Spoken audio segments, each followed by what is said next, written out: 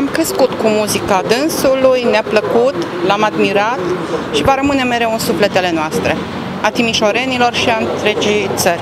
Multă tristețe, durere, ce se poate în asemenea momente, să spunem.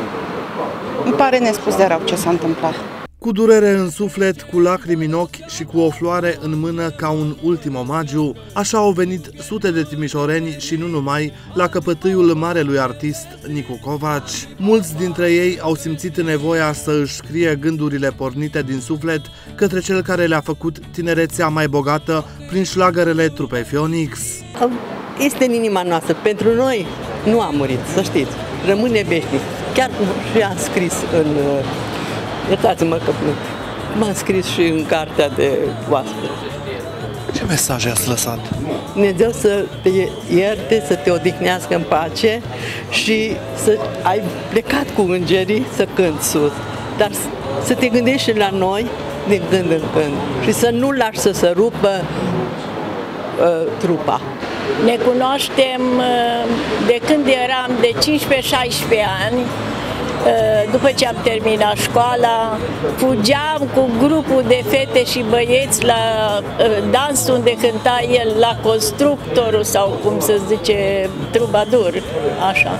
Și când avea concerte, deci a fost un, un om cu deosebită, cum să vă spun, eh, măreție.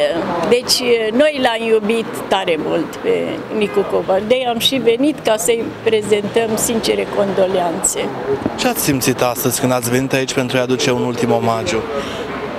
Cum să vă zic, dacă noi ne-am cunoscut de atâta timp, exact ca și un o rudă a noastră, așa am simțit-o că de am venit ca să-l îl vedem. Dumnezeu să-l ierte, să-l odihnească în pace. Cred că nu era sărbare la care să se cânte barem o melodie de-a lor, știi? Toți știm. Și cred că numai la generația mea. În urma marelui artist Nicu Covaci rămân amintiri de neprețuit. Să s-a spart geamurile la sala Olimpia, când era el.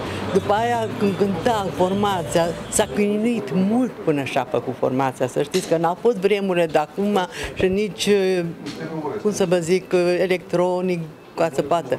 Au luptat. Suntem mândri că un bănățan nostru a ajuns pe culmele care l-a cunoscut și țările străine și ne mândrim. De-aia și venit, să știți.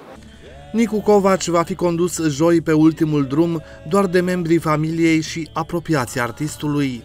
Drum lin în brațele raiului, Nicu Covaci.